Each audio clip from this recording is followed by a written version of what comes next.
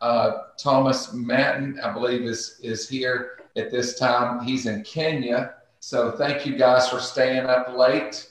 I know uh, some people have had to go on to other calls on to different things, but we're still sharing this with the world through Facebook. So all of you that are sharing, uh, uh, just know that this is going to go to a lot of people around the world. So thank you so much for being here.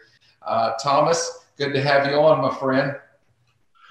Praise the Lord. Good. Thank you so much, Apostle Joshua. Do I have to hit the button here? You're you're on.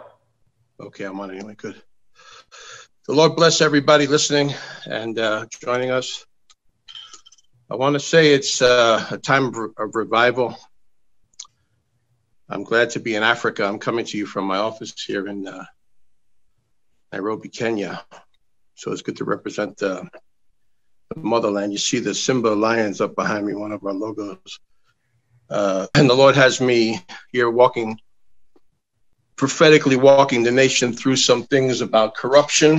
The Lord spoke about a great move of anti corruption that's going to happen in the nation of Kenya. And um, it's just been an amazing time. I, I, had a visitation from the Lord when this thing started. And um, I feel like for the body of Christ worldwide, it's going to be a time of revival, personal yeah. revival. Isaiah 52 says, Awake, my God, I feel I feel this. Awake, O Zion, you that slumbered and slept. And God can show his people that the comfort that we all seem to have and know can be erased in a minute. Who would imagine that things could shift in the world so quickly? We want to ask who is it to shut the churches down? Who is it to tell everyone to stay in their houses? It just happened like it just came overnight. But in Matthew 24, Jesus said, uh, You'll see the signs even of a, pe- a pestilence, but the end is not yet, because the greatest visitation of God that we've seen is, is not behind us, it's in front of us.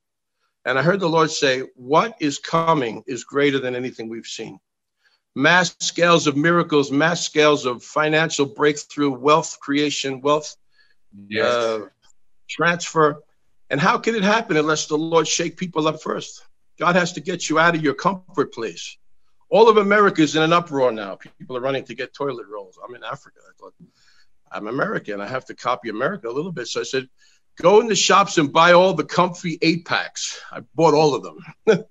and the lemon waters and the, the other things, you know. But who could imagine this could happen so quickly? But the Lord spoke to me that um, this is going to be a time when he's going to cause many people now. There's going to be a dividing line where he's going to cause many people, like it said in Second Peter 1:10, to make your calling and election sure. It's time to, and this quarantine, this lockdown thing, is somebody said it's like a Sabbath. I agree with that. It's like uh, a moment where we can all get shaken up a bit and say, wow, we need to just have time to pray. And a lot of people are so busy in their jobs and their routines, they never get a time to do that. So it, it the, God did not do this. It, the devil and his ugly friends did it. But if God allowed it for anything, for any reason, I'll tell you it's to shake the church up and wake the people up that revival can begin to come. Um, the Lord also spoke to me clearly about this is going to be a season of financial uh, increase. It's happening for me. I can't tell on air some things that are happening. It's really, really astounding what's going on with me right now uh, in the blessings of the Lord. And one of the Hebrew definitions of Jehovah Jireh, Yireh, Jireh, is he's the father, our overseer, who sees our future and will see to it that it happens. He's our Father who sees our future, and He'll see to it that it happens. So, people that God has called to be on the edge, He's going to fund them right now. When it seems like a time of economic shakeup and downturn, uh, it's not going to be for God's people. I also heard the Lord say that Venezuela is going to be broken loose and it's going to return to capitalism and democ- democracy and capitalism. And just today, I heard that uh, the, the Secretary of State, Mike Pompeo, United States Secretary of State just put out a they're putting out a $15 million arrest warrant against Maduro, the president there, uh, because God's had enough of some of this stuff. And I want to say something about China. China has persecuted the church. So it's no wonder that this thing came out. I saw it like, like I haven't any, heard anybody say this, but I saw it. It's like a plague, like the plagues of Egypt. Let my people go. And somebody is going to have to see that that system is broken in China for the end of persecution against Christianity. And this could just be the thing to shake that up. And now China's also on the rampage. They're doing it here in Africa. They're on the rampage to take over industries. Italy was so hit by the coronavirus uh, in mass numbers because uh, we've heard that the Chinese are after the industries there, the silk factories and the leather making factories, and they're buying some of them. So who knows the, dia- the depths of the diabolical strategy of, of the enemy in all of this? But God's going to turn it around by waking people up, shaking them up. And the Lord said to me and had me declare this prophetically when this thing first came out. I heard it. It was, you know, when they said they're going to really go to the distance of all this quarantining and all this. The Lord said to me, My people, it's not going to be long. It's not going to be a long term thing. It's going to come and go. But I allowed it to wake and shake and cause things to happen. And as far as people feeling like they're they're in despair about this, the Holy Spirit said to me, I have everything you want.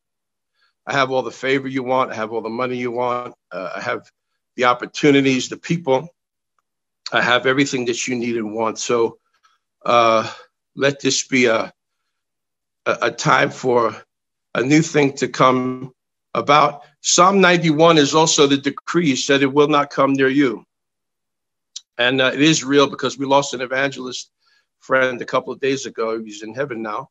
I was with him in Florida in a conference, and the Lord had me prophesy to him, said, You're going to be in Los Angeles. And a couple of weeks later, I get a call from him. He says he's in Los Angeles. A great door open. It was a great thing. But I didn't hear the Lord say that he'd be in heaven, but he's in heaven today. So uh, is it affecting people? Yes. Will it touch you? No. Continue to say it's not going to touch you. It's not going to touch your house. It's not going to touch your people.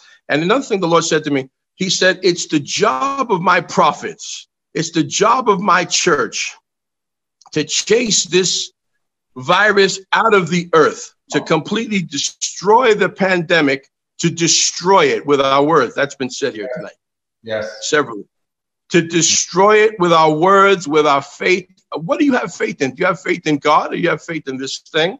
Or are you going to allow the people of the heathens in the world to roll over everybody and cause us to be the ultimate inconvenience? But the Lord says no. But know that we're in the time of shaking and awakening. And I believe that, uh, you know, it's a sign that we can see that the end times will come. If anybody wondered about it, we see how quick yeah. this thing can just, you know, just like that. So it's time for people to wake up, Thank wake you. up, wake up, and get busy about the Father's business. And please, I just want to pray. Please, people of God, please, servants of God, pray for the nations to be broken loose. Pray for people to come out of bondage. Pray for people to come out of uh, their, their spiritual uh, quietness and deadness. Pray for an absolute revolution to happen from within the church. And we are chasing all of this evil stuff out of our midst and out of the earth in Jesus' name. Love you much. Man, thank you so much, Prophet.